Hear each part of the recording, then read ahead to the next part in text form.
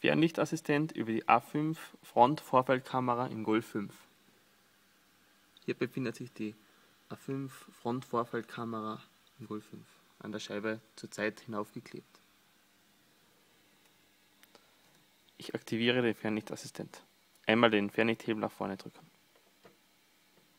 Man sieht, das Symbol im KI.